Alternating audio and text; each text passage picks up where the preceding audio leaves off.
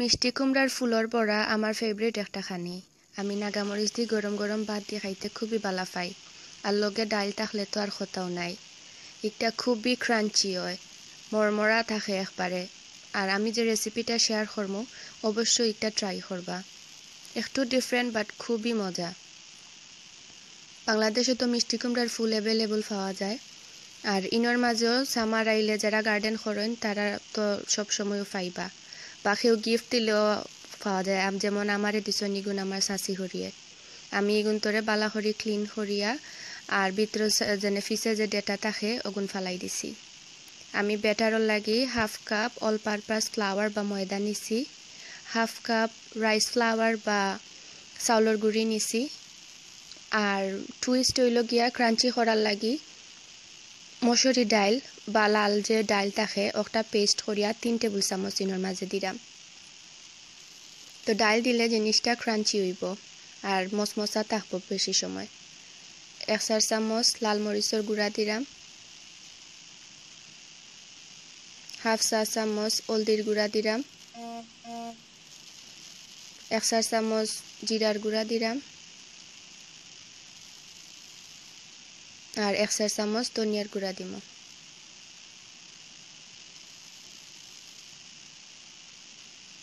আমি পিঁয়াজ রে আর রসুন রে একলগে ব্লেন্ড করে দিলাইছি। এনার মাঝে এক টেবিল চামচ পিঁয়াজ বাটা আর এক চার চামচ রসুন বাটা আছে। লবণ আন্দাজ করে দিবা। দিয়া ওখনকো আমি বেটার বানাইমো। একটা ডিপ করিয়া ফ্রাই করমো পানি কিন্তু একবারে দিবা না, নাইলে বেশি ফাতলা হয়ে যাবার ডর থাকে। একটু একটু করে পানি ফুরাইবা দেখবা কিলা হয়েছে কনসিস্টেন্সি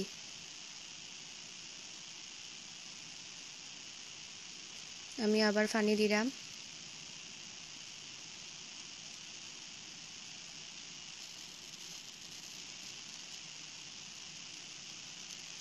একবারে ফাতলা করবা না বা একবারে গণ হইতো না।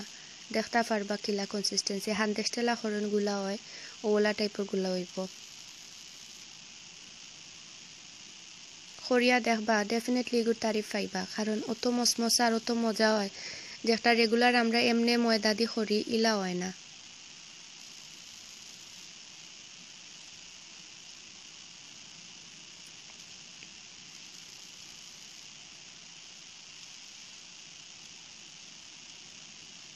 আমি ব্যাটারটা করিয়া দশ মিনিটর লাখান রাখি দিমু যাতে সব মশলা বালা করি ফুলিয়া উঠে বাটারর লগে।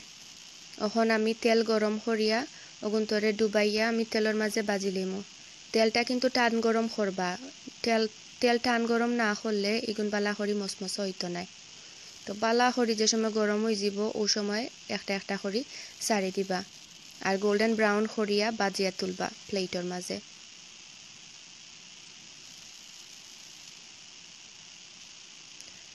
জেলা হয়েছি ব্যাটারটা সব সময় দশটা মিনিট মানে মাখাইয়া রাখি দিন যেন, আর নাইলে ইলা ক্রাঞ্চি হইতো নাই তারপরে ফ্রাই করবা।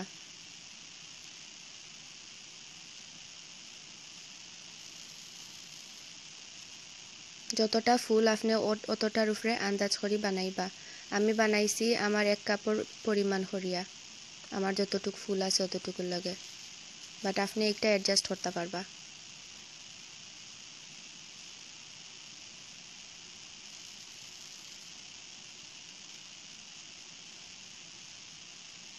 আমি কোনো ফুড কালার বা কিচ্ছু দিছি না, কিন্তু কালারটা এমনিও খুব সুন্দর হয়ে আইছে।